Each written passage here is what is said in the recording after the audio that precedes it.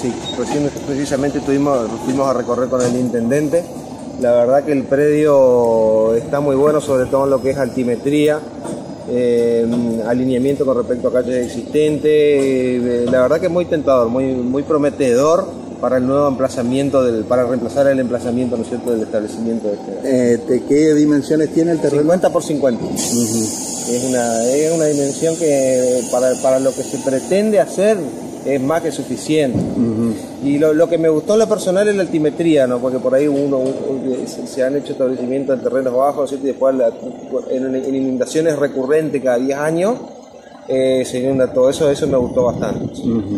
Así que bueno, ahora hay que, hay, que, hay que delimitar, cierto?, de manera más precisa el terreno y bueno, y, ponerse a trabajar en lo que es la, construcción. Eh, decía la directora regional que este, prácticamente tienen el acceso a la escuela este, habilitado porque es va a quedar con frente a la calle. Sí, sí, sí, eso, eso es otra cosa muy buena también que tiene frente a calle pública, no hay que hacer un trazado una, o una continuidad geométrica eh, de, calle para, para, para, para, la implantación, sino que ya, ya hay una, una, preexistente y eso bueno es muy favorable, aparte para la parte de obra. ¿no? Contentos por haber recibido este aula taller que pertenece al programa de INET de Escuelas Técnicas que nos han permitido poder traer uno de, sus aulas donde se va a poder trabajar, que está totalmente equipada por mesas, sillas y también el PEC, el Proyecto Educativo Comunitario, se podía ir pensando hacia eh, la manera de trabajar en lo textil porque está equipado para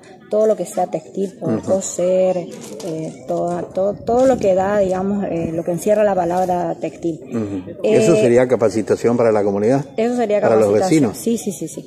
Y bueno, y también este mm, el intendente Ariel Lobey pudo conseguir la donación de, del terreno acá al lado de la escuela, donde se encuentra hoy la escuela, eh, un terreno donde se va a, una vez firmado un, que el señor Berbic cede el terreno eh, para el Ministerio de Educación, eh, se va a construir la nueva escuela, que por suerte la entrada puede salir al camino, digamos, va a tener excelente sombra, buen lugar y bueno, lo que sí, esto conlleva a que la escuela 200 en sí se debe cerrar eh, y llevará otro nombre y también eh, llevará el nombre de el señor Berbic, quien eh, nos donó el, terreno.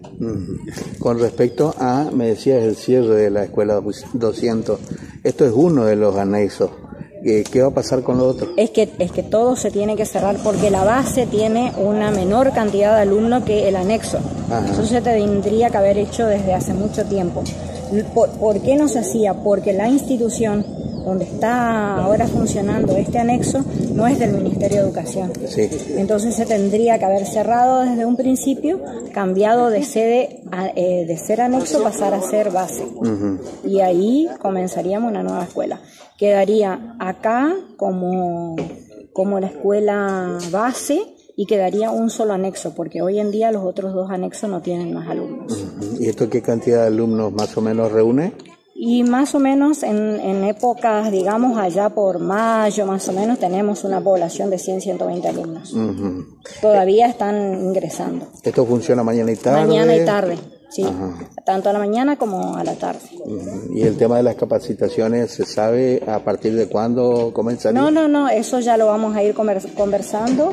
Este, vamos a hablar con, con el Ministerio de Educación y, bueno, veremos a ver qué qué podemos hacer, digamos, para, para eh, em, poder trabajar lo máximo que se pueda dentro de las aulas.